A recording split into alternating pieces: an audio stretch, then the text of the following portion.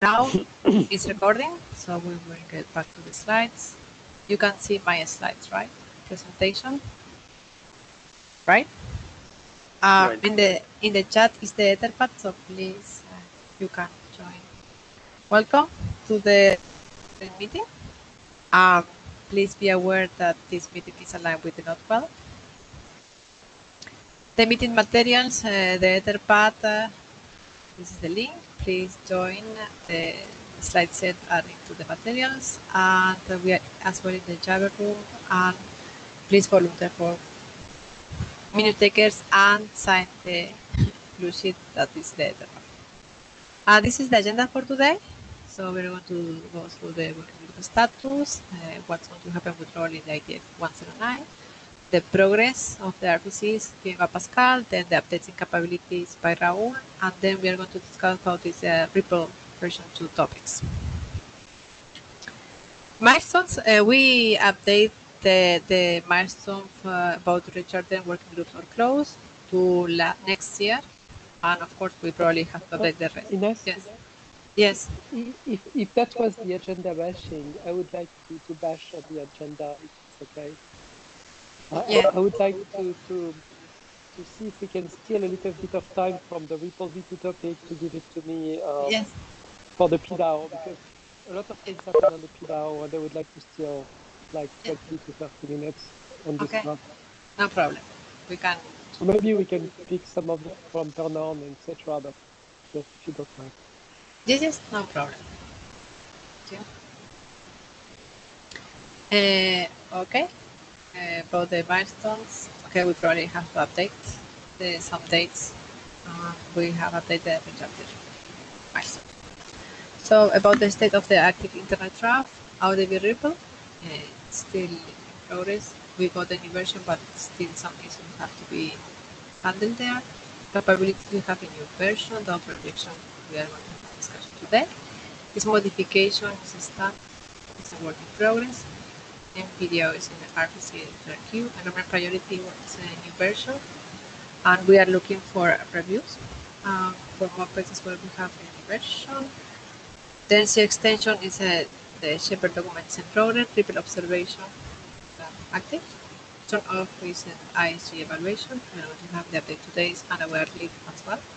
These are triple info we updated and uh, I have to update the diff documents and then when I update it we can ship uh, to Alvaro to continue the process but I, I need to complete this diff.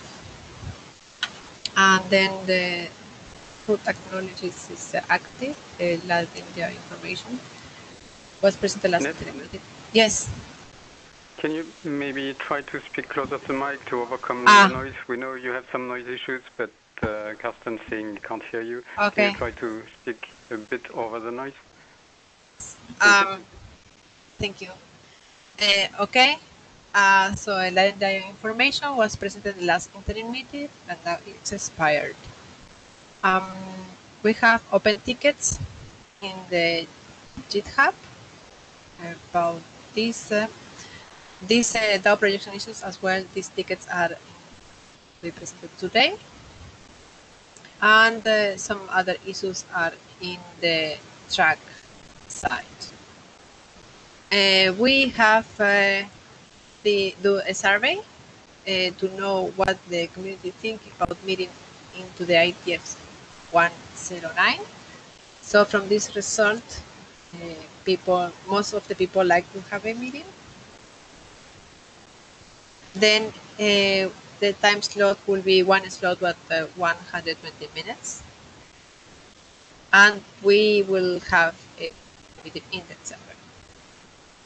These are the additional comments and suggestions. If we have in December, it should be after 8 December. And of course, we can talk on, on during the IETF about the Ripple version topic. So, uh, based on the survey, we will request a meeting before Friday to have a one out of 120 minutes. Is that okay for you? Is that okay for you?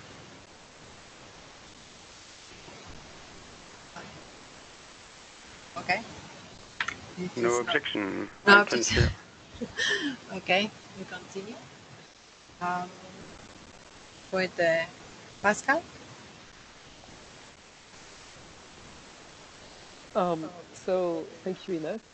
Can you please move one slide? Oh, do you want me to move the slides? Okay, thank you. It's better if you do it.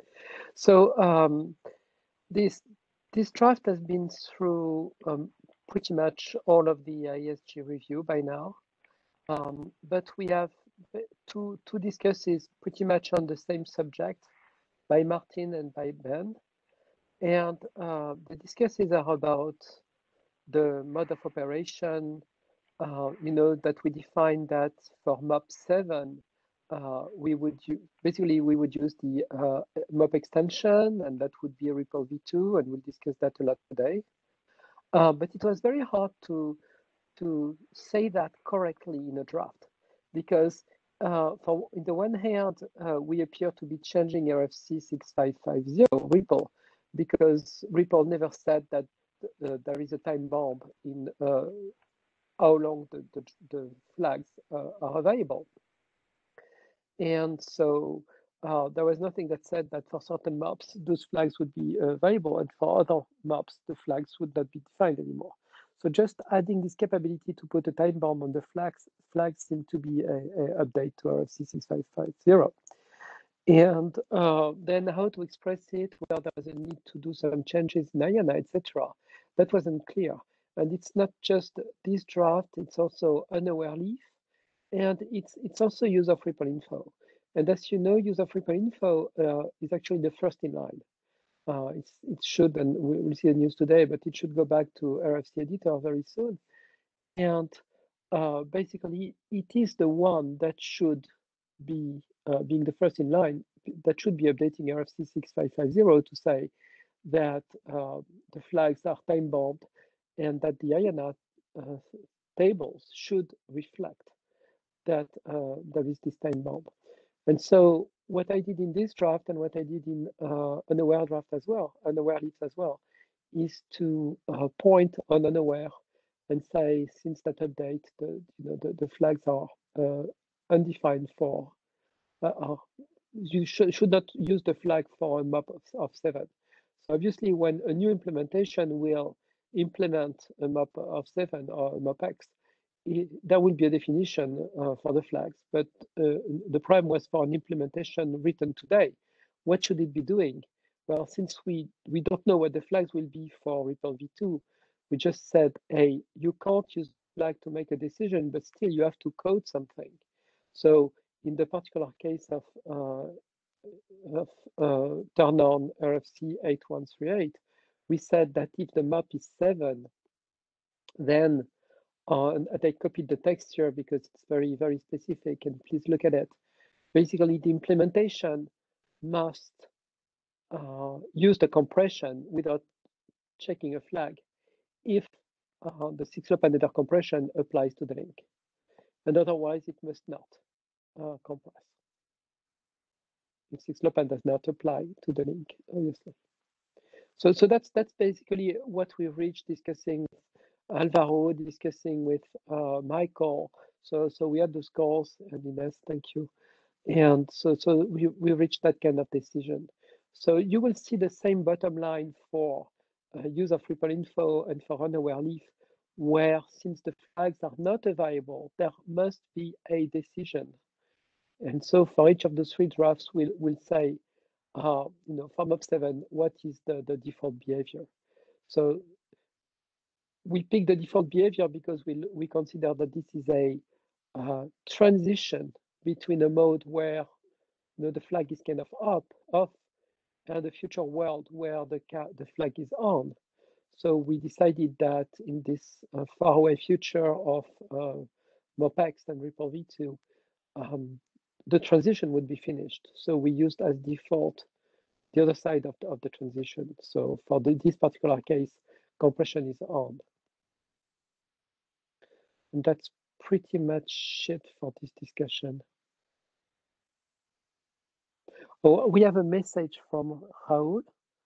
So how do you want to speak your question or do you want me to? Yeah, yeah. So uh, I hope, uh, so essentially it means that the turn on draft is uh, going to mandate uh, RPL v2 behavior anyways, right? so the turn on draft doesn't speak about RPL v2. It just says that MOP7 does, we don't know what happens in MOP7. That's what it says. So, so Okay. it says if there is a RPL v2 and we want it to be backward compatible with an implementation that we do today with this draft, then RPL v2 has to have RFC 8138 on by default on six loop admins. So it's really uh, yeah. in the future, you have to live with an implementation that you do today. So you want to know what an implementation of today does. So we specify what an implementation of today does. And this is basically if map equals seven, then 8138 is on on a six loop. So in the future, when we write RPL v2, uh, we will have to mandate 8138 in uh, 6LoWPAN links, or will be non-compatible with the past. So th- There was another question? Okay. Yeah. Okay. Yeah. So yeah, that's fine. Thank you. What was the other question? Yeah, I think I'm, I'm the one with the other question. Um, so th- that pretty much what you just explained uh, was another question that Martin asked me separately, which is we're assuming here that seven and whatever happens in the future is going to use compression and use yes and use whatever um, use of RPL info and unaware leaves and um, and uh, the other one which I forgot. about Right. transitions. Yeah. Right. So his question was basically the same thing that you just explained. You know, what happens if you guys change your mind, or what happens if, in some extended MOP in the future, let's call it ten, or you know, I don't know, whatever, um, the working group changes its mind. So my answer to him, and, and just to double check with you, is that you know at that time, if we ever get to I don't know something called MOP ten, um, you know, either the nodes that are implementing this specification, turned on specification that that don't understand MOP 10, but they understand seven, and you know they assume there's seven and something else. We'll They try only to see use seven, they don't see 10, right? Right, they they only they see don't- seven, correct. So from their point of view, they're going to say, well, this looks like seven. I'm going to try and use compression on this link. Uh, Yeah. In 10, uh, the working group said, no, we don't want to use compression anymore for whatever reason, then the nodes just won't be able to operate there. Right. This node will be non-backward compatible. It will have to be retired from the network.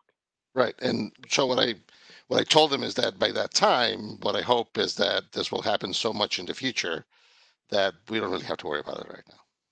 Right. Now, Okay, if we improve 8138 and we maintain it backward compatible, then that should be okay. Um, but yes, I mean, that's exactly correct. The, the, the- at least specifying something gives us that we know if we are backward compatible or not. So as long as we maintain those decisions, we are backward compatible. And the day we change this decision, we know we're not. And then we have to say, uh, those old nodes need to be retired from the network because they, they cannot operate in that network. So, so any other question?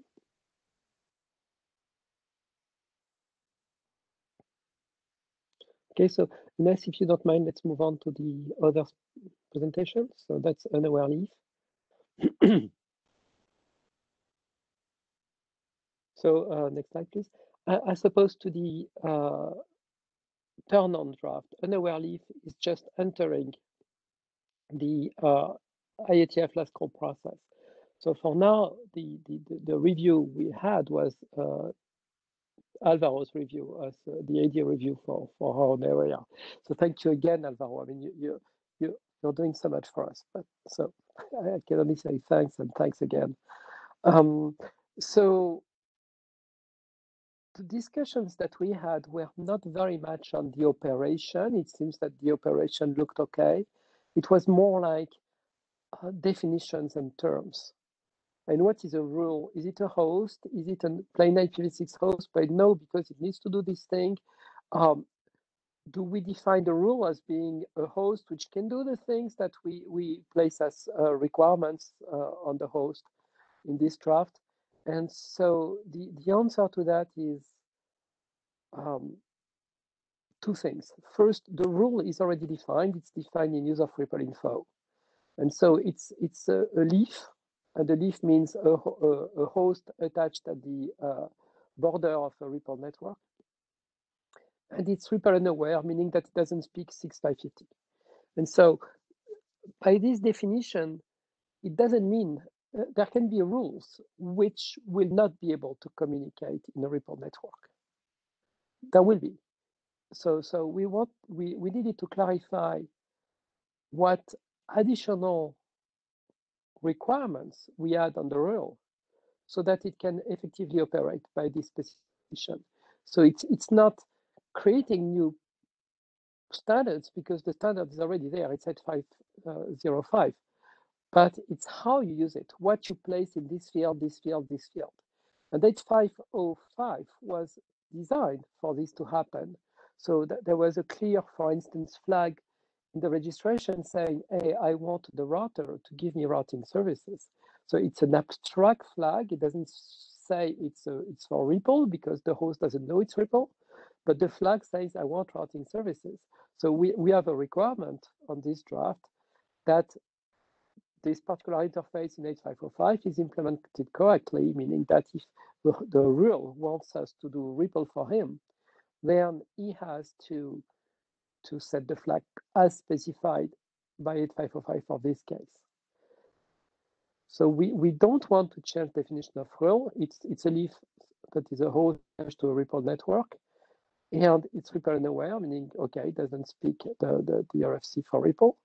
But we also have had to explain clearly what the requirements were on the RUL so as to, to, to operate with us.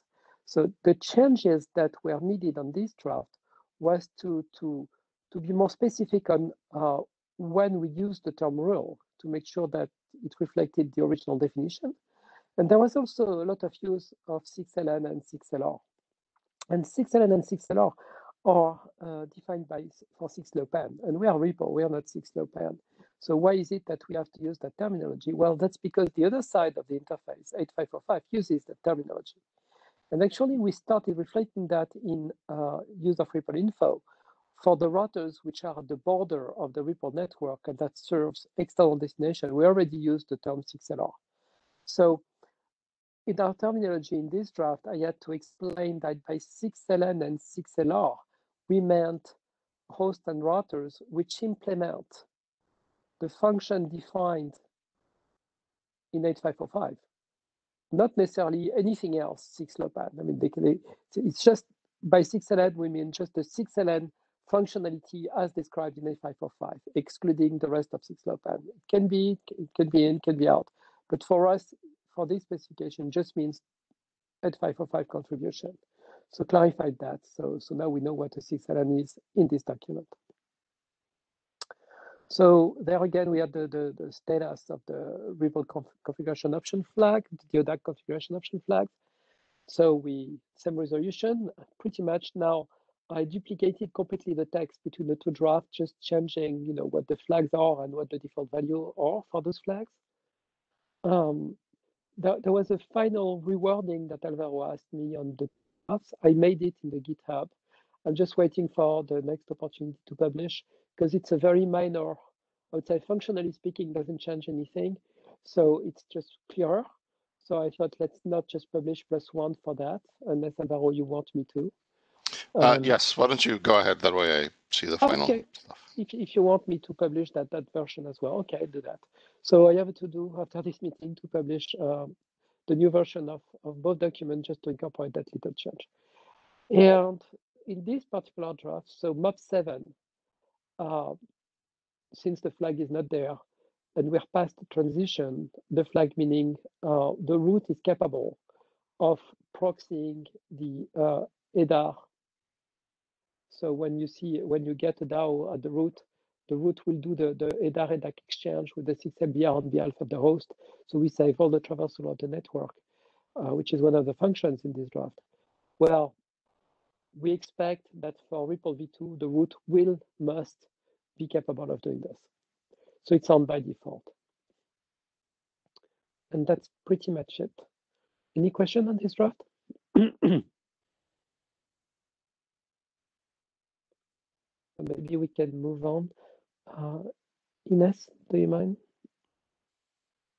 Okay, so um, I left those those drawings. It's not to speak them for for the for unaware, but they will be useful for the discussion on uh, the rod projection because we are also using tunnels, and I will explain why.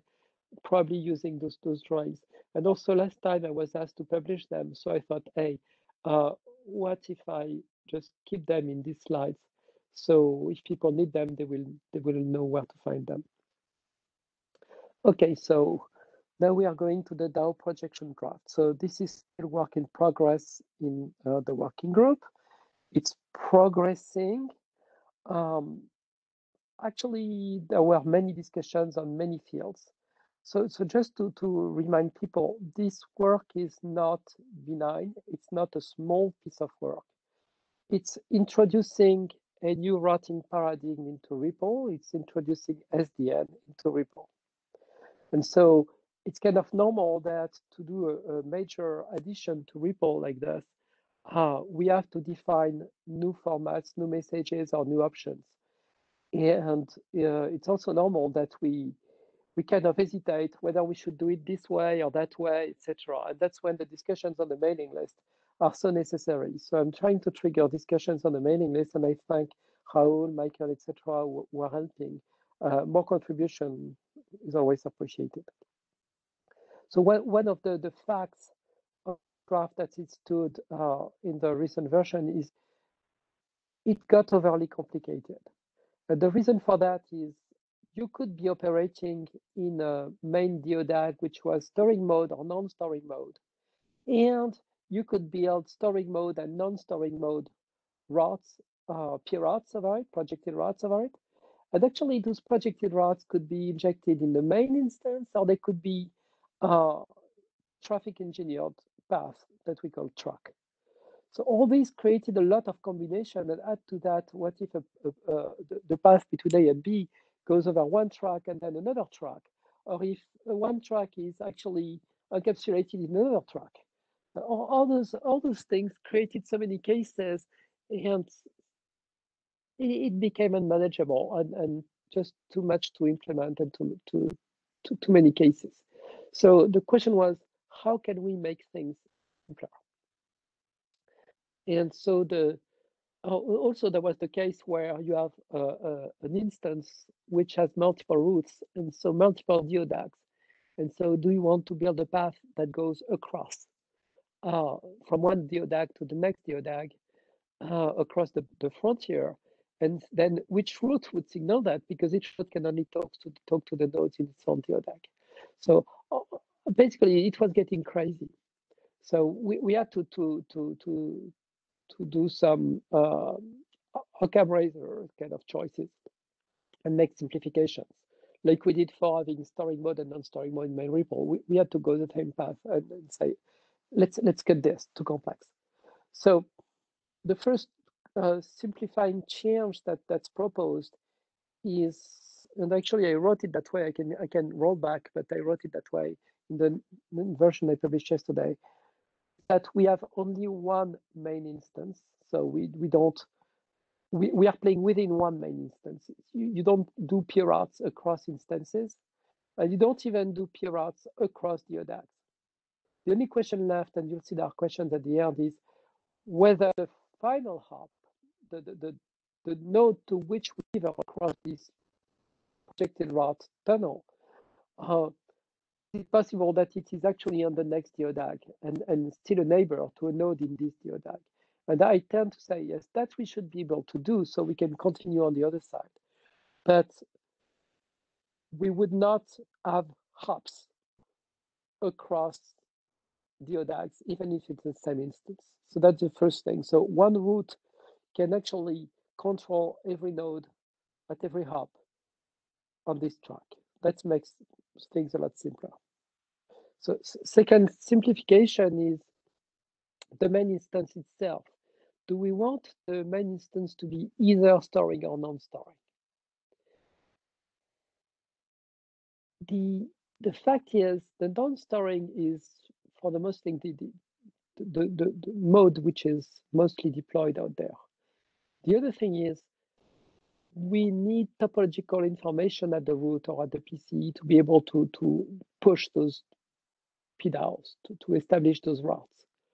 In non-storing mode, the DODAG is already known by the root. In storing mode, we would have had to add some signaling to tell the root about the DODAG. So saying that the main instance, the main DODAG has to be non-storing makes our life a lot simpler. We don't have to signal the DODAG to the root, he already has it. The only thing that we need to signal is maybe additional siblings or possibilities for route computation at the PCE, but it's just advertising more siblings, not the whole structure of the DODAG. So that that that's a huge benefit on stake and on storing. So basically, the second simplifying simplifying change that's proposed here is to make it so that only uh, non-storing uh, is usable for the main instance. Now, uh, third thing, our main instance now is non-storing. Should we use PDAOs in the main instance, and what would that be for?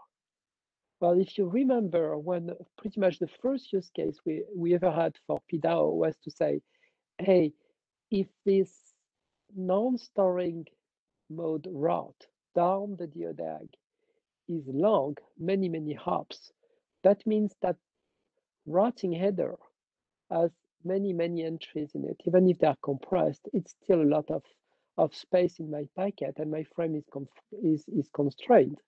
So how can I make it so that instead of doing strict source routing down the DODAG, we do some form of loose source routing down the DODAG.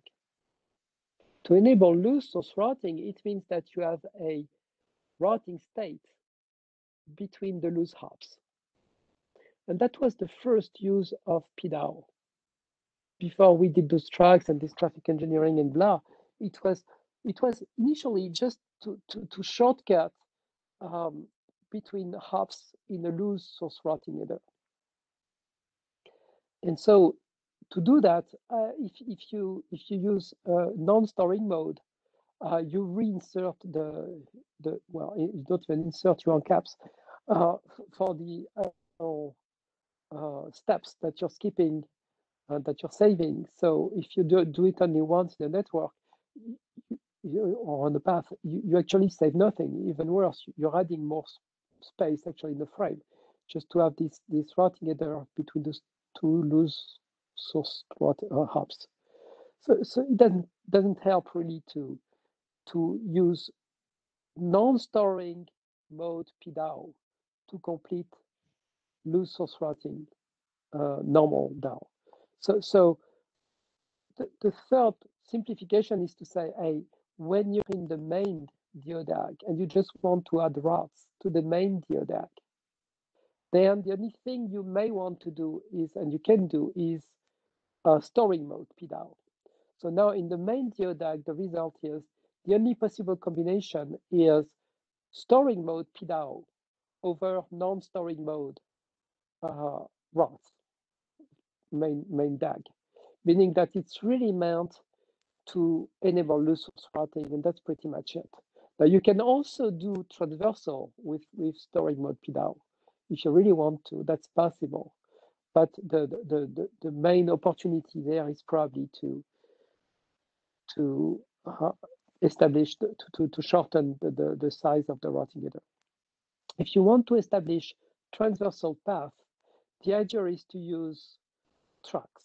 So that's the, those T path which are separate instances. Each track, as we call it in 6TiSCH and, and, and row, is its own local instance. Actually, I clarified that text in, in the, the recent version, but it was already there. Just try to rewrite it a little bit more clearly. But when we establish uh, uh, a route or kind of traffic engineering purpose to, to basically shortcut, avoid going through the common parent, blah, um, we use a DODAG, which is rooted at the destination, and um, we call that that thing a track. So I, I aligned, well, the last discussion, the mailing list, I aligned the, the, the term track with what SigStation DAO defined. So we have a serial track, which is just a sequence of hops, or we have a complex track, which is like a DODAG from a source to destination. Okay, so so that's the um, that's the track thing. Now, there is another simplification that that we looked at, and now we enter the world where things are not yet very clear. It's how you can avoid loops, and basically the way to create a loop is to have a, a, a, a route which is incomplete I'm, I'm getting a message from it's a proposal Rahul, right? It's it's um, so so let let's see what Rahul tells us. It, it's cool to take the the the comments as as as we go. So yeah so uh, uh, uh pascal uh, you know i'll let you finish and then come back you know i, I just uh, keeping my points ready so uh, it's, it's okay so but i see that it's a major change well it's yes it's a major we eliminate a lot of cases so yes yeah, it's a major yeah, yeah. change so that's why I pointed out like so, so, so Pascal. Uh, so if we, uh, in a way, we are we are reverting back to version one of this draft, uh, except no. for except for the tar- track part and the multi-segment yeah. track parts, right? Yes. So, so we I mean, have version one plus multi-segment tracks in the document. Yes. It's a way of saying it, but it's just for when we manipulate the main instance, mm-hmm. because what we we wanted to do those non-storing projected route this, they are completely there, but they, they are taken from the local instances of the destination. Mm-hmm. It's, it's a lot easier to signal it this way than to try to add those routes to the main instance. And if you add those routes to the main instance, you start creating this risk of doing loops. This is the one thing we did not want to, to create loops in the main instance. So we basically say, hey, um, we, we we do only the, the, the easy game of basically PDAOs uh, along the to shorten the the, the straight uh, source route to make it loose. Now, the other thing that we want we we do here, and that was one of your points earlier, is to avoid loops, right? So the the the, the prime is you have a, a track which doesn't go all the way to the destination, and that is not source routed then as, as you, you, you go through that track and when you reach the, the end of that track, you you have to route to to to the destination, but the track is finished. So you how do you do that? If you go through back through the main uh, DODAG, then you might go all the way up to a common parent, and then it would go down possibly to the ingress of the track, and now you're in a loop. So the um, the hop by hop games, the, I'm sorry, the, the, the, the storing mode uh, projected route games can be very dangerous. It seems kind of easy to create loops with those things if we don't make them strict, like you give every hop, and you don't provide rules to ensure that when you put them one after the other, you don't end up uh, in a loop. And this is the piece where we are not 100% clear still on the document. How do, do we avoid having a peer route and then another peer route and then another peer route? And we create loops.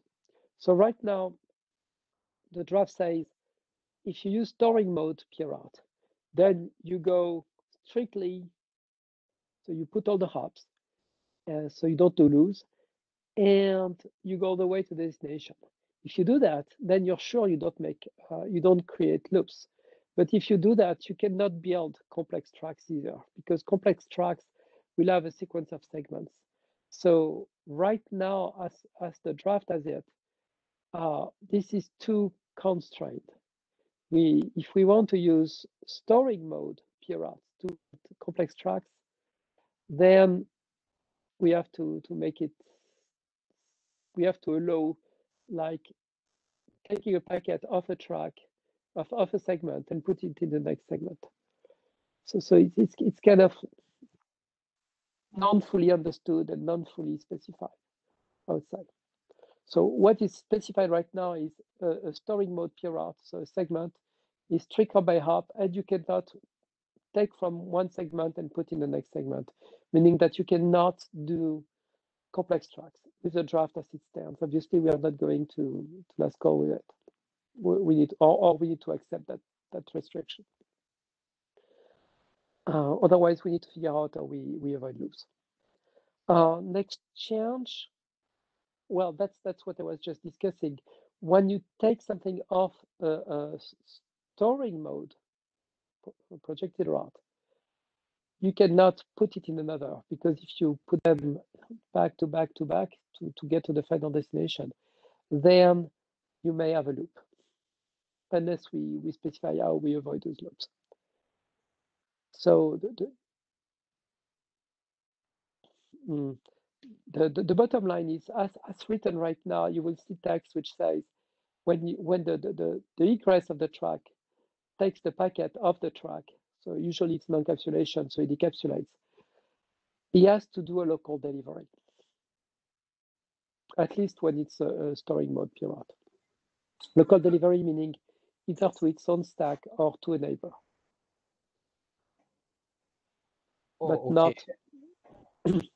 so so so, uh, so Pascal, uh, the way I understand this is uh, the egress uh, node. uh, yeah, so, so you, you you've been very clear. So uh, the egress node has to make the delivery, but how would that decision be made? You know, uh, what I'm trying to say is how would I tell? Uh, I mean. Uh, it, it's a data plane operation. How would I tell my stack, which already is there, to make sure that that delivery is done locally if not how on what basis will it not send it back to the root to you know and, and form a loop Yes. again so the, the well so we we we will have slides for that. okay Um, okay sorry But basically, the packet has every indication um, that it's for it's being forwarded on the track. okay okay because we right. might we might do a lot more than just following a source route path as we are on the track. There could be dedicated time slots because we are doing determinism. So we need to to know which flow we are in DetNet terms. And so so for us it's called the track. Okay, And so okay. we need to to specify what track we're in. And so it's it's in the packet. So the egress, when it receives the packet, it is the destination of that packet. In any fashion, the egress is the destination of, of the packet, even if there was a source route. Uh, when the source route is completely uh, exhausted, consumed, the, the, the destination in the end is the egress. So the egress gets this packet for local processing. Inside this packet, there might be, inside this encapsulation, there might be a packet to, to a, a, a neighbor. uh, and that's when the, the features of RUL, etc., can be useful, the one that we just kept. But we, we may go back to that. But the bottom line is the track egress will be the, the end of that track. There will be an RPI which has the instance ID, which is the local instance ID that identifies this track. So based on that information, the, the egress knows it is the egress and it knows uh, which track that is. And so it can it can make the decision as as he's the destination and, and decapsulates. That's when he can make this decision. Um, another simplification that we just discussed and we oops no back back please yes it's how we build the PDAO. So initially you could do like DAO, you know, you could have uh, in a DAO just to, to, re- to remind, you can have a number of targets and then you can have a number of transits. So the target are the final destination, the transits are the parent. Um, so a node it could have multiple addresses, for instance, and put them all as targets. And he could have a number of parents and he could put all them as transit and then send that to the root as an example. Or uh, uh, an access router, a border router at the edge of the, the report network could have enough uh, children which are uh, unaware leaves. And so he would do uh, the DAO for them. So that would be multiple targets, again, all those rules. And uh, he might indicate himself Uh, as parent for all of them. So you've got this concept of factorization, multiple targets, potentially even multiple TIOs. And you could even do that multiple times, sequence of targets and TIOs, then more targets and more TIOs, etc., etc. So, so DAO allowed all this complexity. We tried to figure you know, how it could work, having too many things in the same PDAO. And for instance, in storing mode PDAO, the PDAO is forwarded across the reverse path from the egress to the ingress. And then the DAO is sent by the ingress to the root. So imagine if you wanted to have two paths in the same message, that would be two ACKs from two different egresses that would have to be generated. How what happens if half of that works and the other half doesn't work? So it really led to, to, to huge complication. So the game here is to say, let's do simple. So we can have multiple targets. Why? Because these are the, the targets are who you can reach over this track. And to simplify, think of a track as a tunnel, just for a minute. And it's really, uh, it's really like an aware leaves. When you look at each time we have to tunnel or we don't have to tunnels, to tunnel, it's exactly the same game. So, so think about this game, and for a minute, just think that we tunnel all the time. Remember, in user free info, we don't tunnel exactly all the time, but almost all of the time. And and see uh, the children and the uh, uh, siblings of uh, the egress of the tunnel as, as if they were unaware leaves. Get in a track, you're encapsulated, for instance, to add the, the source route of a, a, a non-storing PDAO. So, so you encapsulate between the ingress and the egress, and the inside packet goes to a sibling, for instance, of, of the egress. So you have to signal all those siblings that you can reach over this tunnel. And you have to signal the hops of the tunnel. And you have to give a name to this tunnel. Okay. Um, so what we, we decided already is that the name of the tunnel is, is the track ID. Uh, it's the local instance ID taken from the namespace of uh, the egress. Okay, so we have we have this first information that we have to store somewhere. The the egress and the local instance ID associated to that egress, which together identify the tunnel, identify the track. Okay, that's one thing we need to signal in this PDAO. Second thing we want to signal in the PDAO is all those siblings and children of the egress that we can reach over this tunnel. But like we said, they must be one up away, at least when we are doing uh, storing mode. Uh, even in non-storing, but it's it's a bit more weird. Um, so so we need to, to signal all the siblings. And then we needed to signal the hops, either that ends up as a source route or that ends up as a, as a state in all the hops to, to go in that direction. We needed to signal this, this sequence of hops. So the question was the question was how do we do that? And we tried and we discussed with Rahul, etc.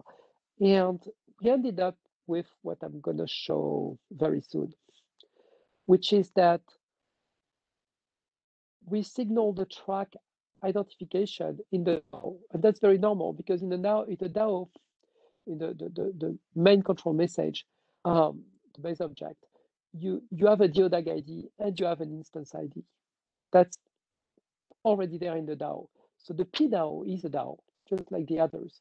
But if it's signaling a track, then the DODAG ID is the egress, and the local the instance ID is a local instance ID uh, that identifies the track. So that that was a very very uh, logical mapping um, because we are building a DODAG, and uh, it's rooted at the at the egress of the track. So it's completely normal that we signal those things in the DAO message itself. Okay, now could we have multiple targets? Yes, we could. Okay, so because they're all the siblings, so it's not hard to, to signal the target. So we allow multiple target options. So uh, we call them RTO, RPL target option uh, in acronyms, but that, the targets. Okay, what becomes of the TIO, which is the transit? Well, remember the transit was just giving you a hop, the parent. But here we are giving a sequence of hops. So TIO could not be used. We have invented the VIO instead. What is a VIO? You can see it as a generalization of the TIO, but with multiple hops in them.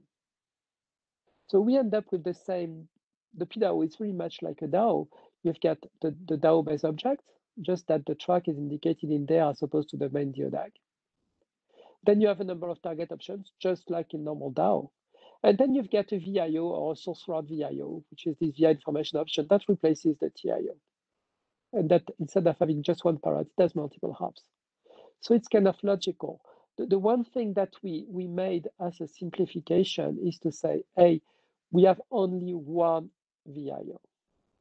There were a number of reasons for that, but just think about the flow in storing mode where the acknowledgement has to come from the ingress if you have multiple ingress, who sends the acknowledgement? How does that work? What what kind of failures should you have to handle? So we said, hey, much simpler. We can have multiple targets, but we just have one VIO. Also, at some point in the past, the source, uh, the storing mode VIO, so the normal VIO, you would basically have one options option per hop. So it was a collection of options indicating uh, something serial. But that would consume a lot of bytes. It's actually easier to, to put them all in a single VIO with a list. So that's a change that, that I made in the draft. And that enables a better compression with RFC 8138, because that's one of the decisions we made. Now we can compress the VIO with RFC 8138. Can you please go to the next slide, please?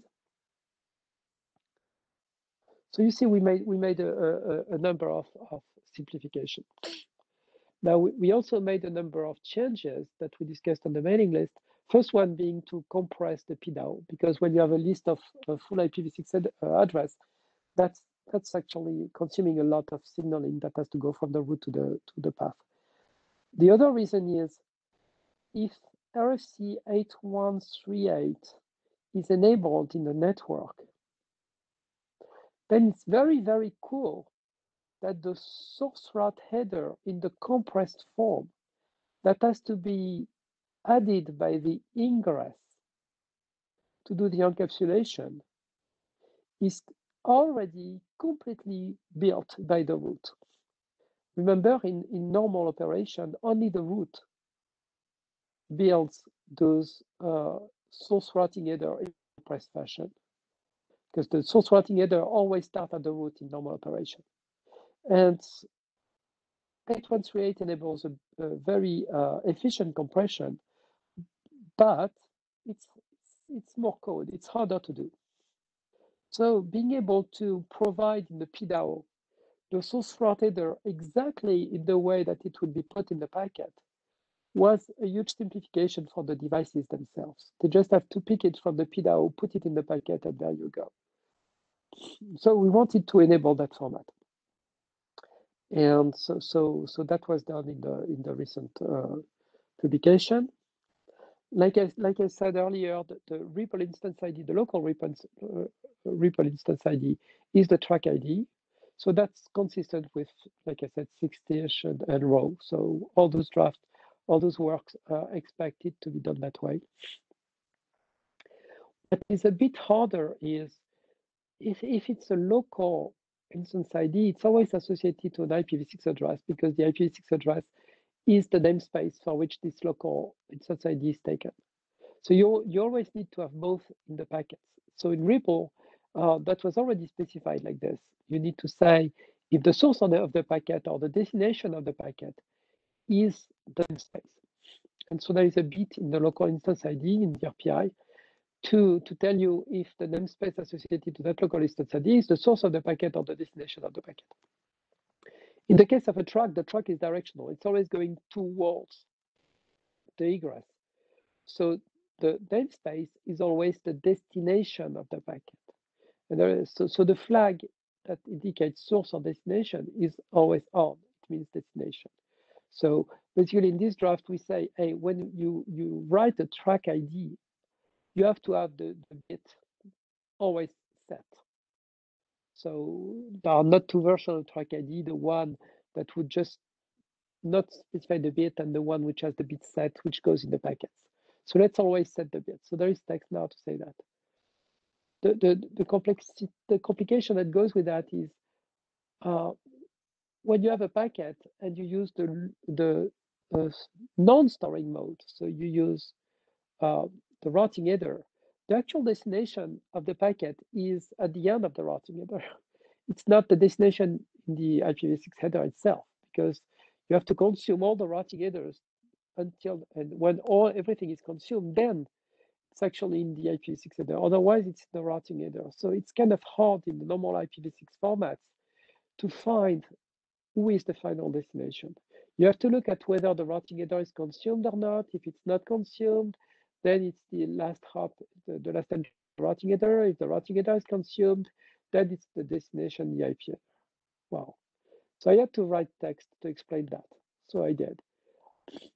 Um, but if you're using 8138, 8138 made it so that uh, we actually encode the destination in the IP header as the first entry in the routing header. So everything is in the routing header. And that, that also makes it so that the last entry in the, in the routing header is always the final destination. There is never a question. So 8138 is really meant to make the forwarding much simpler. Well, that also makes this particular operation of identifying the namespace of the track ID uh, a lot easier. So if we have 8138, it's easy. If we don't have 8138, you have to look at whether the routing header is present, if it's present, whether it's consumed, and blah, blah, blah. Okay, one addition we made recently, but I, I kept it on this slide, is that we have added this sibling information. So in, in, addition to the normal DAO signaling from non-storing mode, the sibling information gives the root all the topological information that it needs to build the structs. Now, what is not done in the draft, and I don't think we should do it, but if you tell me do it, we'll do it. It's that we don't say which sibling a node should advertise. Because in the very dense networks, you may have hundreds of nodes around you that you could signal. That would be a lot to signal to the root. So, so you may have to decide which siblings are useful and should be signaled to the root and which ones should be ignored. For instance, because they don't give it in that direction, you have enough siblings to, to progress. You don't need more siblings in that direction to go to, to somewhere. And I don't know that. So, so the reason why you should signal siblings and which siblings you should signal in this sibling option, we don't have text for that. We don't explain, it's out of scope. Sibling selection is something else. So if you have very few siblings, uh, an implementation can just signal everything and, and we are happy. If we have a dense situation, there will have to be some intelligence to decide which siblings to, to signal, and that may depend on the use case it's out of scope. Next slide, please.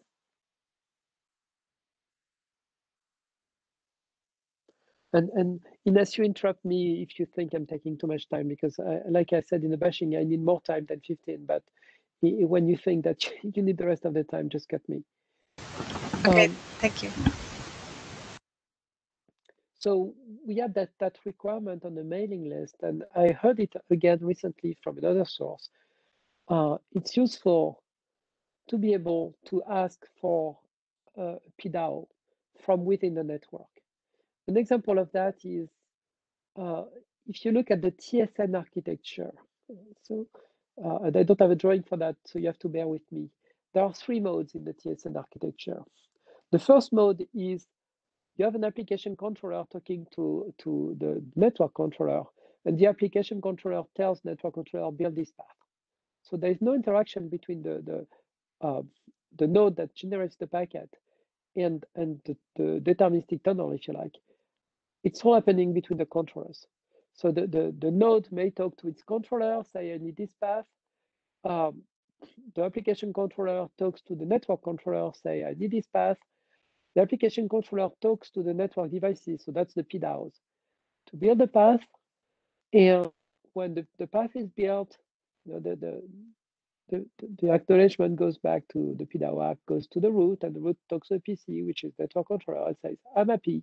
The network controller goes to the application controller, say, I'm happy. And, and that goes back to the, the, the node which needs it that can start the traffic. So there is no interaction between the, the, the device and the network. There is no UNI. The second model is completely the opposite. It's completely distributed. It's when something like RSVP happens in the network and there is no control at all. So it's a model that's possible, but it's not one that we support with DetNet or, RTS and really now. We, we go for, to controller based, at least for the network. Now there is a hybrid model where you have a UNI, user to network interface, between the device and the first hop router, something like what we do with RUL, for instance, with 8505. So you, you have like an ND abstraction um, between the host and the network. And then the network goes to the root and say, oh, I have this request to build this track. So it's really a request coming from a router in the network, which says, I need to build a track to that destination. And so with just PDAO, we did not have the signaling for saying this. So we added this PDAO request message and this PDAO acknowledgement message, uh, this PDR acknowledgement message, which basically enable a router to go to any router in the report domain, to, in the DODAG, to go to its root and say, I need a destination to this particular target.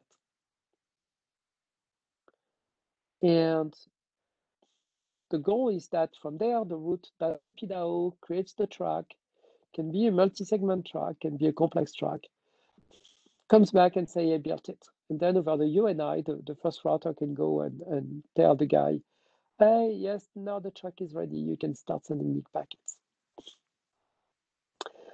Um, one remark is inside this, this PDR and in the PDR acknowledgement, you have the track ID that is present. So it's the same locally significant uh, instance ID for, for the egress of the track.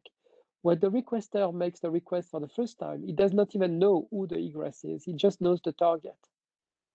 So it would put zeros to, to signify, to indicate the, the egress and to indicate the, the instance ID so everything that identifies the track. But there will be a time where the lifetime that was requested for this track is exhausted and when you will need to know. So in the first request, it's all zero, the PDR comes back if it's a status zero, uh, saying, okay, it will come back with the egress uh, IPv6 address and the local instance ID. So everything to identify the track. And then if the, the ingress needs to continue, I mean, maintain that track beyond the lifetime, then it will uh, it will use that information to renew basically. So it's not a big surprise. The, the thing that's more interesting is that the uh, the PDAO and the lifetime of the segments in the PDAO is completely separate from the lifetime of the track, meaning that um, say it's a, a simple tunnel multi-hop segment, just one segment, source to destination, and that's the track, a serial track. So say you're building that. You may say, so the, the PDR may say, I want it for an hour. And that's the track lifetime in the, P, the, the, the PDR, the PDAO request. Well, the root may send a PDAO of 10 minutes. And after 10 minutes, a new one, after 10 minutes, a new one, and maintain that at a completely different time scale as the track does so so the PDAO lifetime, so the segment lifetime in the PDAO doesn't have to be the segment, the, the track lifetime at all. They're completely decoupled. The PDR is a contract between the requester, so the ingress of the track, and the route to get the track for a duration. How the track ma is managed by the route is orthogonal. The, the, the timelines don't have to be aligned. So, so there is a lifetime in, in the PDAO, there is a lifetime in the PDR. They are not the same. Uh, tac, tac, tac. So as we said, the mailing list, we aligned the, the, the, the wording for track. And I have uh, issues that are tickets that are raised for the security section. I, I know I still have to handle them, but right now we're handling the main operation. When we know what the main operation is, we can look at the security issues with them. But, um, yeah, so I, I did not do improvements in the security section right now. Next slide, please. Okay, so um, this illustrates what I just discussed earlier. So what you look at, if instead of track ID, you have instance ID, and if instead of uh, IPv6 address of the track egress, you have DODAG ID, guess what? It's exactly the DAO as in RFC 6550. So we're just saying, hey, a PDAO is a DAO, same format, same information. The IPv6 of the address of the track egress is the DODAG ID of the track. And the track ID is actually a local instance ID. So it's an instance ID, it's conforming. Next slide, please. Yes.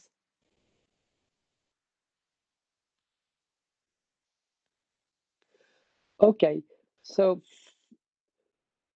this draft introduced the VIO and the SRVIO as uh, with a generic name of route projection options which replaced the TIO basically when instead of having just one parent, you have this multi-hop path to get to the target. So here is the format of the VIO. It has evolved many times. So they, here is the latest. So what we basically said is this VIO is a segment within a track. We also said that the track identification is not in the VIO because it's in the DAO that we just saw in the previous slide. So we don't have to identify the track, we just have to identify the segment. The segment can be the full track if it's a serial A, B, C, D, but it can be just one, uh, I would say, uh, edge in, in a graph uh, to, to get there, if the track is a complex uh, track. So what we need is a segment ID because it will be refreshed individually. So each segment of the track has a PDAO separate and it's refreshed separately. So it has its own ID. Uh, one segment may be killed and replaced by another segment, and the rest of the track could stay the same. So they are completely managed individually. They have a sequence in a lifetime like everything RPL. So this is not very surprising. Um, so it's the same kind of uh, uh, sequence as we had in uh, in the TIO. And then what you see is an SRH 6LoRH header because we enabled 8138 compression. Now, if if you don't want the VIA addresses, the, the hops, to be compressed at all, well, 6LoRH has a format for that. You just use a, a type 4 and that's basically the full address. But then if you use another type, um, they're going to be compressed. In the case where you have 8138 enabled in the network, and you're using non-storing mode, so you, you, you put a routing header in the packets, you encapsulate with a routing header. What we want is what you see here, as I said earlier, to be exactly what goes in the packet it might be that you need more than one SRH 6 LoRH if the size of the compression changes along the path. So in that case, you need to have multiple actually SRH 6 LoRH in there. I just show one, but it could have to be repeated in, in that particular case. So imagine that after the via address n, you can have another SRH 6 LoRH header, more addresses than another SRH 6 LoRH header, and more addresses could be in the case where 8138 is enabled in the network and uh, we are using non-storing PDAO. Next slide. Okay, so that's a, a reminder of uh, because RPL is already like that. When you have a packet that, that flows in the network, the final destination of the IPv6 header or the source is the namespace for a local RPL uh, instance.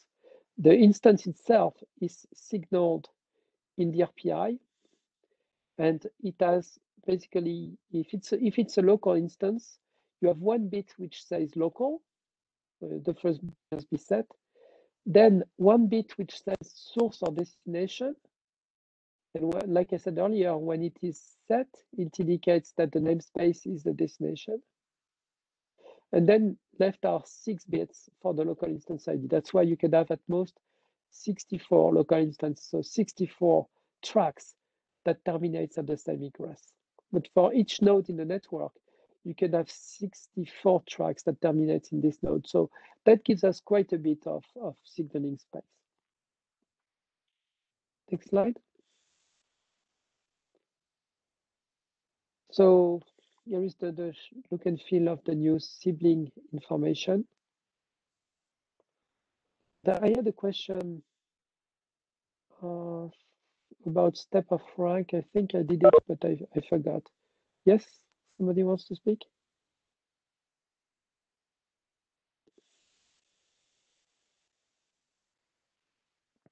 Okay, so basically you have the address of the sibling and, and the cost from uh, the, the node to the sibling expressed as a step of work. That's pretty much it. Next slide. So here is the PDR. Uh, don't be surprised, there is a lifetime, which is the, the duration for which the uh, track should be built. And uh, if we want to make it longer, we have to send a new PDR with the track ID that we get the first time. So the first time the track ID is uh, set to zero.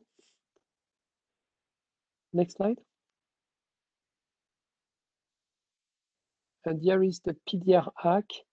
Uh, what doesn't show here is uh, in both cases, we need the, the track egress.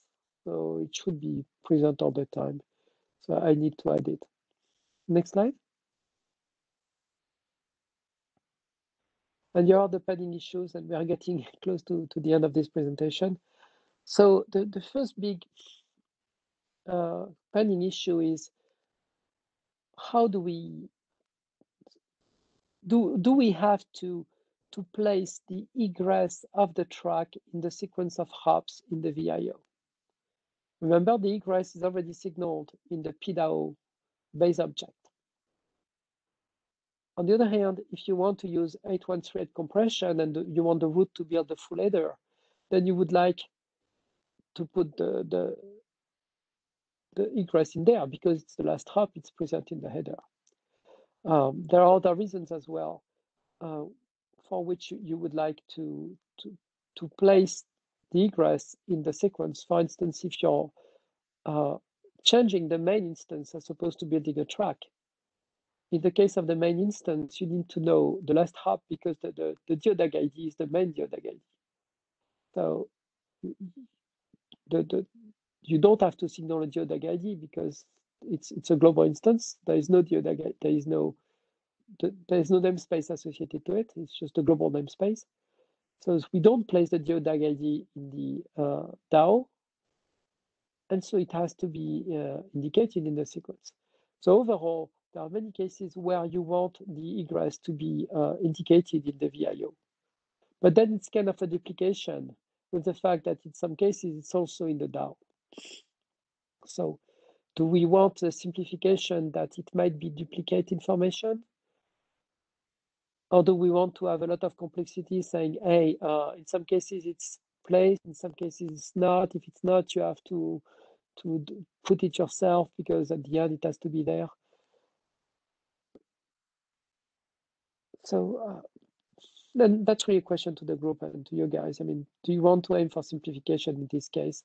The cost being that we might, in some cases, duplicate the egress node, one in the DAO, and second, as the last entry in the SRVIO in a compressed form. It's okay to do that, or do we have to go through the complexity?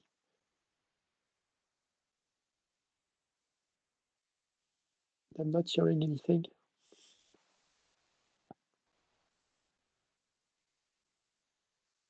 From my side, uh, Pascal, and I, am still not sure as in why the uh, why the last uh, the egress uh, address should be par, uh, present as the last element in SRVIO. You know, so I, oh, let me explain that again.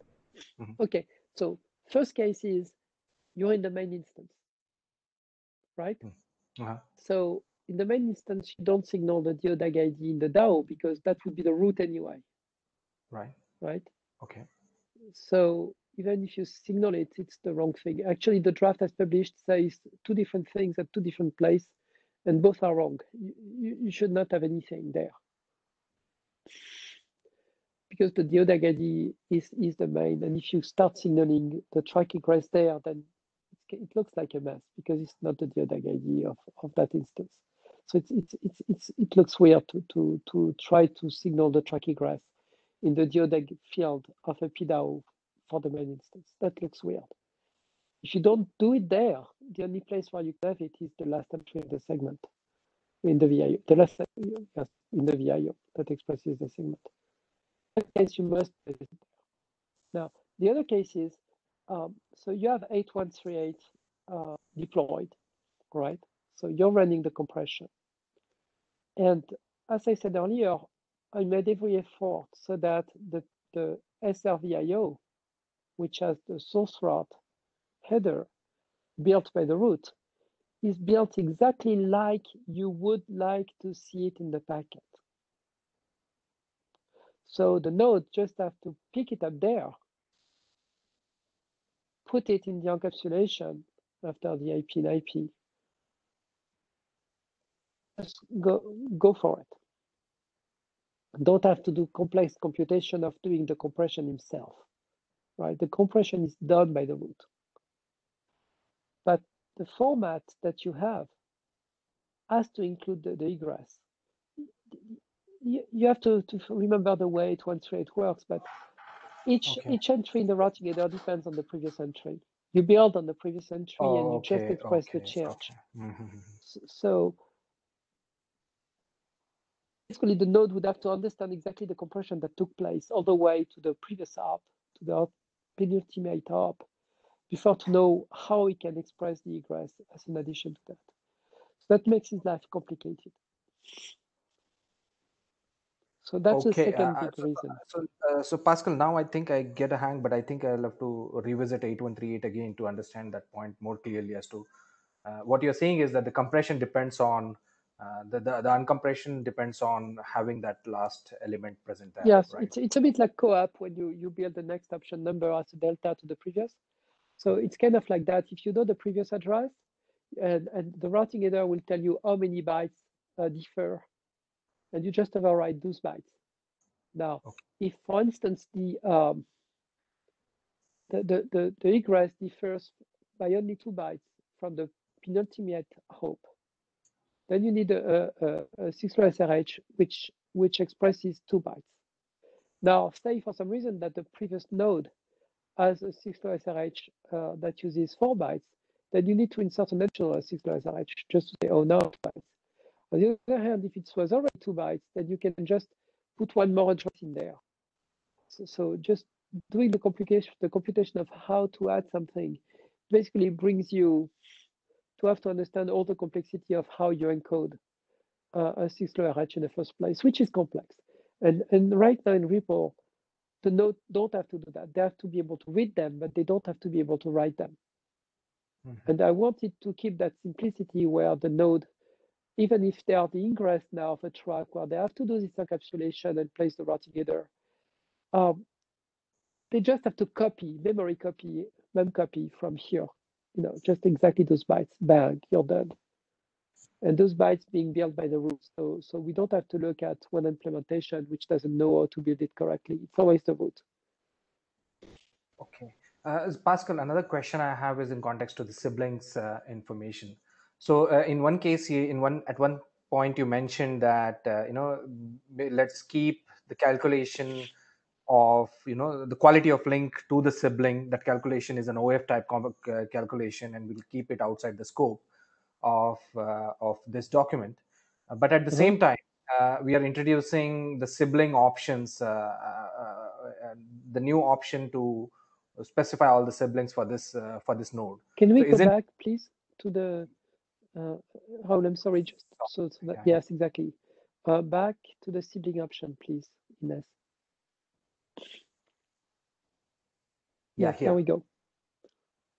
Yep. Yeah, so here, uh, so one thing that you mentioned uh, in, in, in during your presentation is that the calculation, uh, the the quality of link from the node, from the egress node to its sibling, is an OF type calculation, and it's- it's clearly out of scope for this document. Uh, but in this, so so then why do we want to add uh, the sibling information option at all in this document if that is if that is out of scope for you know that, Okay. So, so uh, we have to discuss that on the mailing list, right, Rahul? But the, the short answer with, with the current draft is we don't know how the step of rank is computed, but it's present. So the OF is there, right? There might be a different OF for building the track, but then, you know, I don't know. But at least the step of rank uh, for the current OF between this node and the sibling is expressed in here as a step of rank. Now this is computed with the main DODAG OF. We also have a, a metric option, which can be uh, uh, placed with the sibling option, the, the classical RPL metric option. Okay. If we do that, then we don't even know what the objective function is at the PCE that computes the track. Just know the result of the track. That that includes uh, he has chosen an egress which was near the sibling for a particular OS of, uh, of his.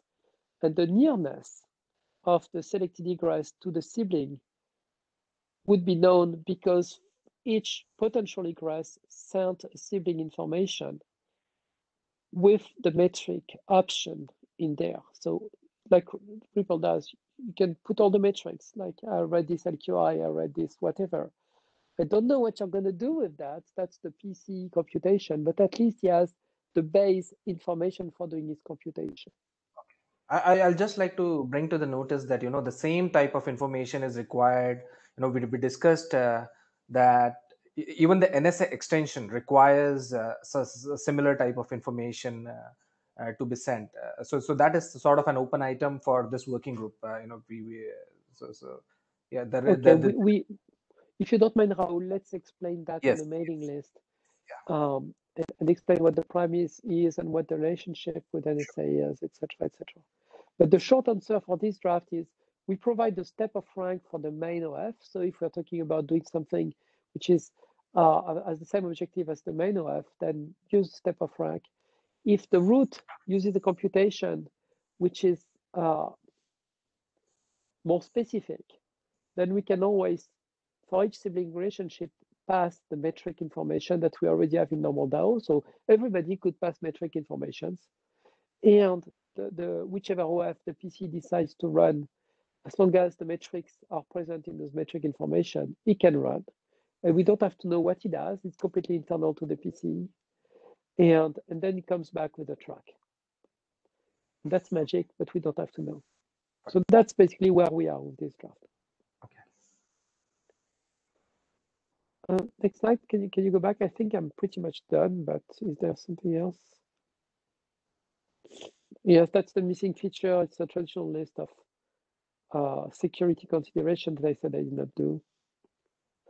And next step, uh, the workgroup last call around next IETF is certainly not a good idea. We are not there yet. Uh, but maybe the one after, if if the group you know, helps. So I, I, I- provided a, a number of news. I would like to, to assess if what I presented today people agree with, because there are recent changes which were made or are being made. If there is something which is wrong, for instance, in the selected simplifications, or if you guys want more simplifications, um, then yes, feedback on the mailing list, please. And so I have, uh, you know, I keep reading it, but like everything you write, when you read it after, you miss the bugs. Uh, there, are, there are still a number of bugs, including the ID of the main DODAG, which, which should not be there.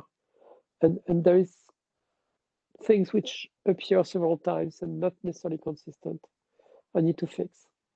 So, so there is some some editorial work, but I have the feeling that we are converging on, on the main operation. So, so that, that's my feeling with this draft. We, we kind of, we are getting there, uh, need cleanup, need simplification. If you can have ideas of more simplification, need some text messaging to remove duplication, remove some bugs. Getting there. That, that's pretty much how I feel about it. And that, that's it, I guess, this time. Okay, uh, so let me begin. Uh, Ines. Okay. Uh, All right. Thank you very much, uh, Al, for your information. Uh, do you are aware of some implementation of things? Uh, I we we are starting to implement it. At least as a prototype, but you know the the, the, the draft is still in flux. Uh, so obviously we don't have a final implementation of the draft, which is not final. But uh, yes, uh, on our side we, we are we are beginning an implementation. I would say we have one person assigned and uh, you know, when he can, he goes and do some code. But you've seen the draft, right? I mean, I've published like three versions, three upgrades. We've had a number of, of discussion on the mailing list. Each time, you know, the formats change and blah, and the restrictions change. So it's not like we are doing a product tomorrow. Okay. Thank you very much, Pascal. More questions? Okay. Rahul, please. Okay, uh, I'll just uh, I, I'll uh, the capabilities draft. It has uh, so. Can you go to the next slide, please? Uh, we had uh, we had uh, got received feedback from Dominique on the GitHub uh, uh, uh, repo, and we have uh, made changes. Uh, so uh, let me just clarify here that there were no changes which impacted the basic uh, you know uh, structuring of any of the options or any there was no major design change as such in the in the document but thank you dominic. You know uh, we, we have received an elaborate uh, review of the complete document uh, the changes are already pushed in. Another aspect is uh, ines listed uh, some of the open items uh, during the beginning of this meeting. Those open items are already taken care of especially in context to the capabilities draft in context to the observations draft those some of the some of the items are open. So let me let me just you know summarize what the document contains currently it contains uh, the capability options that can be carried as part of our RPL messages. Uh, how do you advertise uh, the capabilities? So it's a new type it's a new control option. Then we need some instant we needed some instantiations of existing capabilities. Uh, so so we have two two types of capabilities right now there. The one is the capability indicator flags. Uh, for any capability which just can be signaled using a simple flag. And then there are you know more uh, verbose capabilities which requires some sort of additional information to be sent. So currently we have uh, the indicators flags and the resource routing resource capabilities.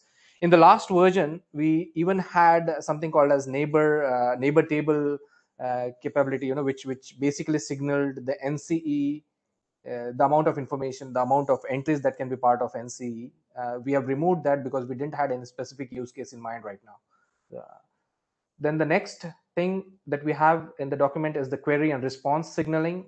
Uh, this was already discussed in the last entering uh, in the last uh, IETF session uh, and then the guidelines for defining new capabilities. The only must that we have in the document is that the handling of capability is is is is, is mandatorily required if the network uses MOPex uh, basically mop greater than or equal to 7 uh, next slide please Uh, so these are the cap- uh, capability options. So one there is one container option called as the capabilities option, uh, which contain which can contain multiple capability TLVs. There are two TLVs currently defined: the capability indicators and routing resource uh, routing resource uh, TLVs. And then there is another option which is specifically used in context to query and response, which is the capability type list, which which which will in using that option, it is possible to enumerate all the capabilities that are supported by that particular node. Uh, so uh, these are the only three things that are that, that have been introduced by this by this uh, draft. Next uh, slide, please.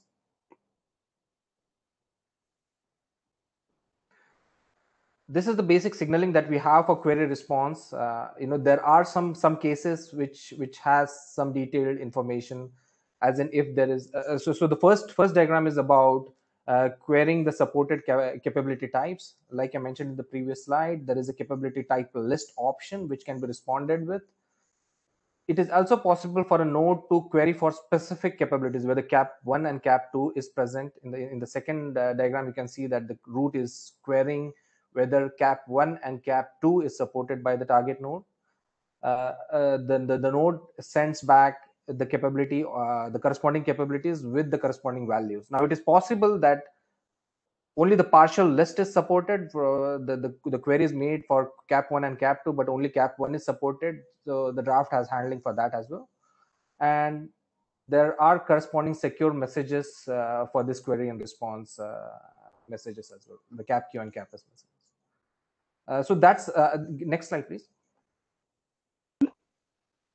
so that's that's pretty much it you know uh, from the capability side we didn't had any major update uh, since and whatever work items uh, we env- envisioned during before starting this work has been fulfilled. Uh, so i would like uh, you know uh, to see if there are any specific opinions as to how we can proceed with this draft you know from from from from, from, from my side there are no further updates that that are pending. Can we get can can I make a request to this working group to um, get some reviews done?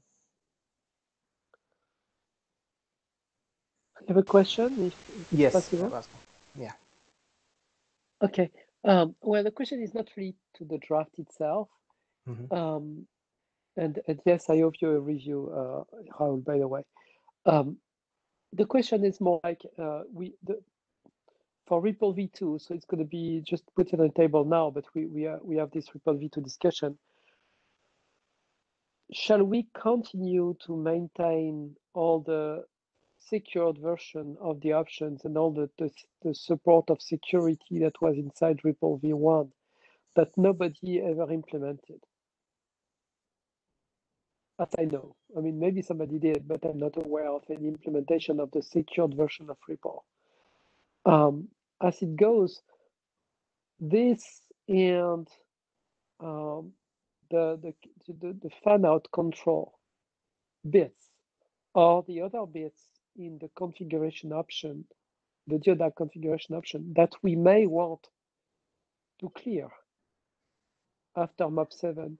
The, the, the change that we, we do for use of RPL info says basically that the configuration flags uh, are not defined after MOP6. It renames the, the, the registry to say for MOP06, meaning this, this, this byte of flags is just does not exist in MOP7. So that, that really reopens the question of supporting the security version. And so I would like, before we, we you know, because we do this, this work for RPL v2, and if somewhere else we decide that RPL v2 doesn't have the secured option or, and doesn't have the fan out control, then this draft should not even worry about it. That's that's what I mean. Pascal, just one clarification. When you say the fan out, uh, you, are talking about the path control bits. Is, is that correct? Path, the path control bits. Uh... This is correct, so, Rahul. The, the path okay. control bits are managing how many copies of a DAO can flow over the reverse DODAG right, to the root. Yeah. So that's what that's the fun out, how much, you know, okay. It's it spreads. Okay.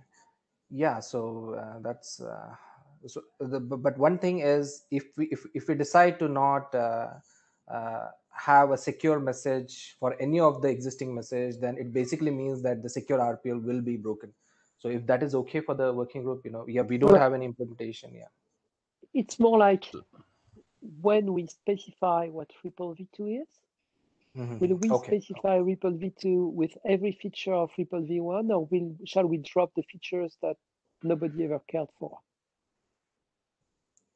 okay and this security so, so but i think i think the immediate question is whether or not this cap q cap s needs a secure value secure version i think is what the question was. Uh, points to that right? I mean do we need to to keep adding secured version of everything we do? Uh, for RPL v2 or so Michael, I, I don't believe the question was in context to capabilities per se because in my yeah. you know we we haven't envisioned using CapQ and Cap as insecure messages myself, but uh, well, I, I I agree. So I think the point was, you know, do we just define any new message as also having a secure version? Hmm. Um, is the point? Um, is that because the, the registry is not arranged that way. It actually is arranged. You could actually create secure messages that don't have unsecure ones and vice versa. The registry isn't say it's just this bit. It doesn't say there's this upper bit and then a seven bit value. It says there's there's uh, 256 things, some of which are secure and some of which aren't. So uh, we could not bother defining it in a secure form because of the reasons Pascal gave that we're probably going to rip them out. Um, okay. Uh, I, I am I would be fine with that. Um, it's unfortunate that no one has no one has found a business case for the secure version of RPL. Um, but that's it as it is. Uh, okay, but uh, from the maintenance side, it's not a big big change uh, to keeping the secure version of the corresponding messages. In a way, the high order yeah. yeah. yeah it's not the a big order, deal it's just an entry yeah yeah yeah sorry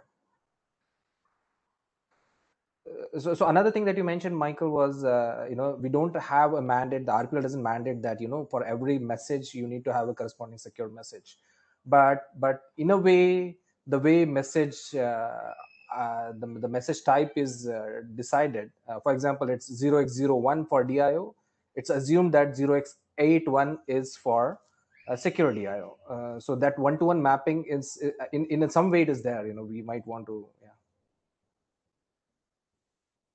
Okay.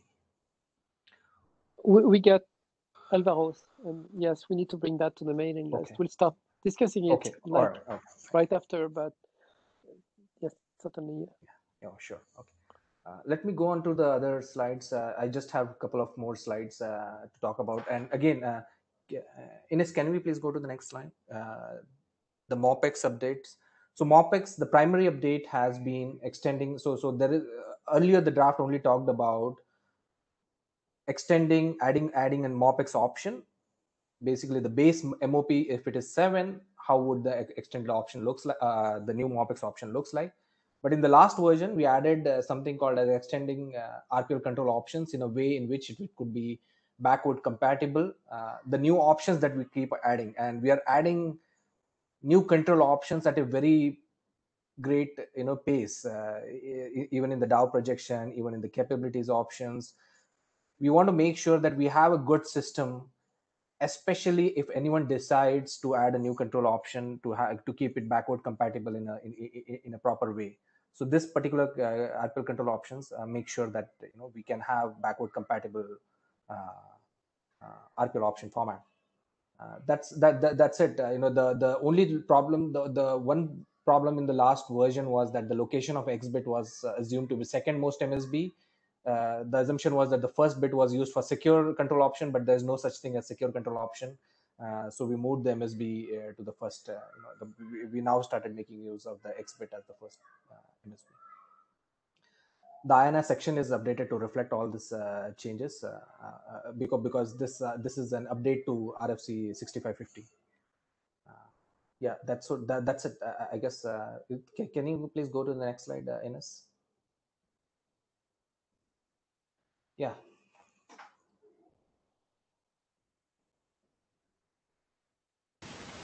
Thank you very much, Rahul. yeah, we will request a comment for both of these documents. And so from uh, RPL version 2 topics, we need to prepare the contents. Mm, but yeah, I think we before going too deeply that, we need to uh, solve the projection issues, um, uh, capability and as well. So um, how to think that we'll proceed. We need to prepare the table of content and put topics, and then figure out as well what about the secure messages version. So, um, do you want? Uh, do you have some comments on that? We we have already the table of content in GitHub, so you can update it. But I think as well it's important to solve the current uh, draft that the working group has. Like, well, now we are having aligned the use of RPL info and our leave, uh, compression, turn on. Um, but as well, uh, we need to figure out as well what to do with the uh, solvers like the projections and the rest that we have as uh, related documents. And at the same time, we can work in the table of content and define uh, which section of the RFC 6550 uh, are going to be modified, extended, or deleted from this version. Do you have some additional comments on it? Probably, um, okay, probably it's going to be as well uh, this topic, uh, the main topic for the IETF 109. There is there is utilizing the IO information. Yes. Part- Sorry? Ah, yes. Um, yes. Yes. Please proceed. Oh, yeah. So, so basically, one thing here from this list is that PDAO and AODV RPL are kind of uh, things we do for RPL v1 as well, right? They are, they, they, they, they are defined in the RPL v1 world and would be ported in the RPL v2 world. But the question I had on secured options applies to PDAO as well because we have this uh, the, the, the PDR, the PDR Act probably will uh, require a secured version.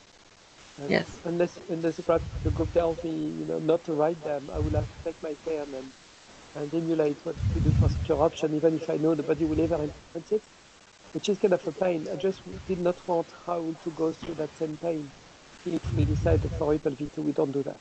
Right? That's that's kind of what the back of my mind when I, I discussed that. So yes. So PDAO, PDAO and, and, and AODV RPL could could need some porting here, but they are yes they are RPL V1 functions. Map, MOPex etc. They are pure RPL V2 functions. So that, Yeah. That's how it looks strange on the same list.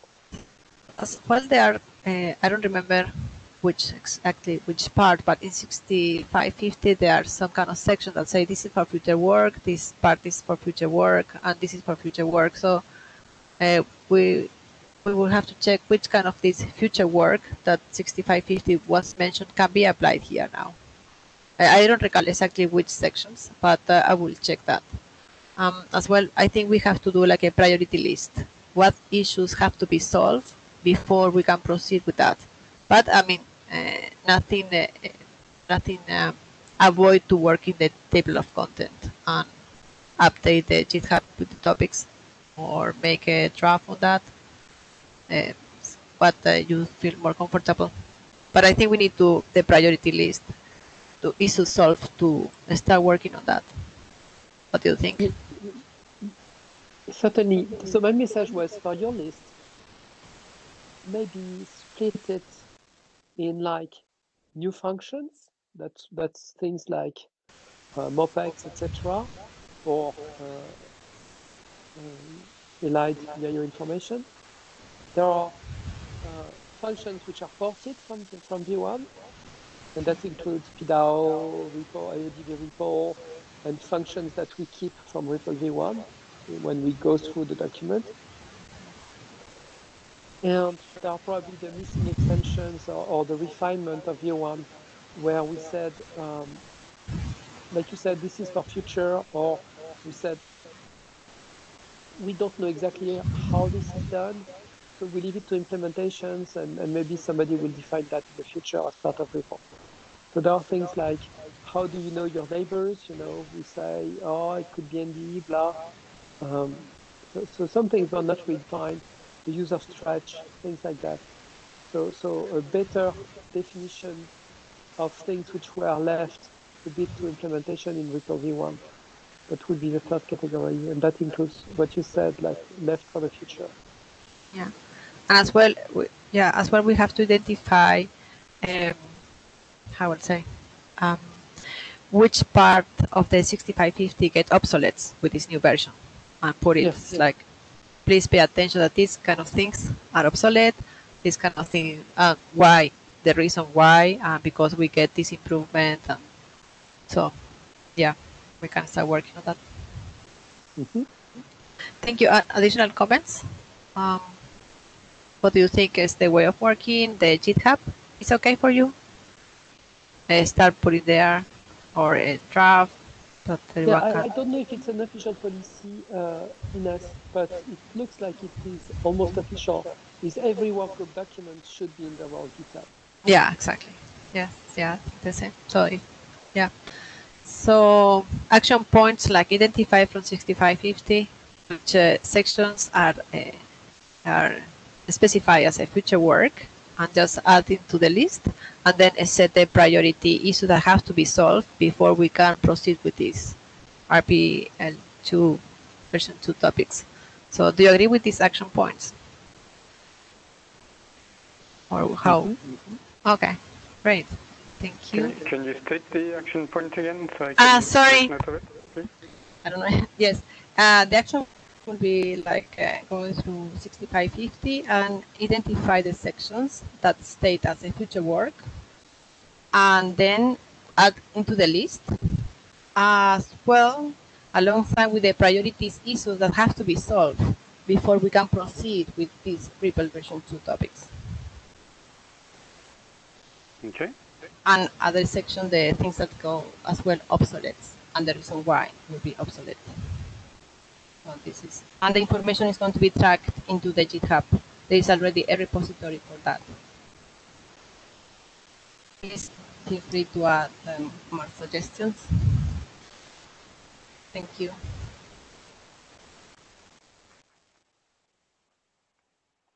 Additional comments on it?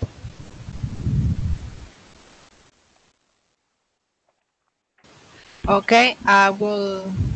Uh, probably this this meeting is recorded. The, the IETF secretariat is going to put it into YouTube, and then I will share with you the link. So it's going to be useful to under, uh, to follow the the person that could not attend about the new modifications in DAO projections and the notification capabilities as well. So some additional comments or suggestions? we probably we will request a meeting for uh, IETF 109. So please, uh, if you want to uh, present something, we will have time there as well. so okay. We have Yes. we have time for any other business or any further discussion. Yes.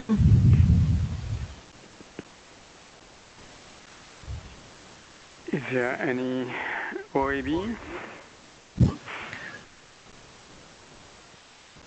AOB? Okay. So if we don't have none. none, so I will start the recording now. It's fine. Okay. Stopping the recording.